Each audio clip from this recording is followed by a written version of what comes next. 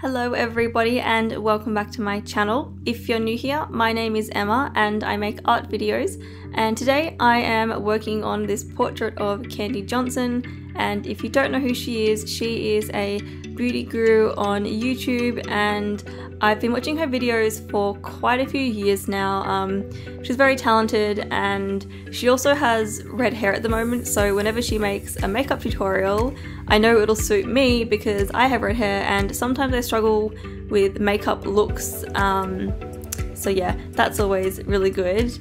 And yeah so I actually did a portrait of her about a year ago it was much more stylized um, and I used ink and watercolor back then. But for this one, I am going for a much more realistic look. And the supplies that I'm using are just a uh, lead pencil, I think it was an HB, um, and then I use some ink and then a black colored pencil, and that's it. And I kind of explored this style with my most recent self portrait. I uploaded that video a few weeks ago. Um, and it's very similar. You know, you've got kind of like just the, the flat black areas, and then you have the kind of more soft black lines and a little bit of shading with the pencil. So, yeah, I really liked it, and I thought I would try it again. And I actually got this photograph from her Instagram, and I saw it and I thought it would really suit this style because you know the hat can be the flat black area.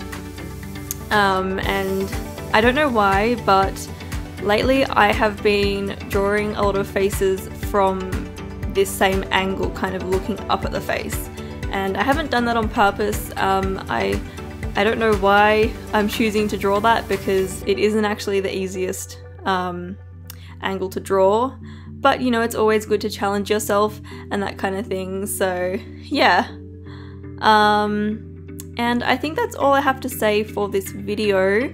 Um, and I'll talk a little bit about my holiday. So, if you didn't know, I'm actually in America at the moment, and when this video goes up, I believe I am in um, New York, I think. Yeah, I'm probably about halfway, maybe a little under halfway through my holiday.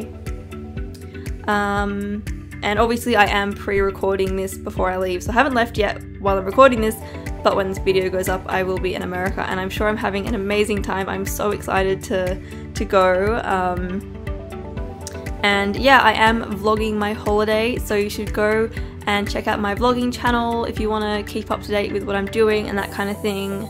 Um, and yeah, also follow me on Instagram and Twitter because that's going to be like the first place that I post. Um, and my username on there is just EmmaxMaree. And yeah, so it should be an amazing holiday. Um, and yeah, so this video will be ending shortly. So if you like this video, don't forget to give it a thumbs up and don't forget to subscribe to this channel as well.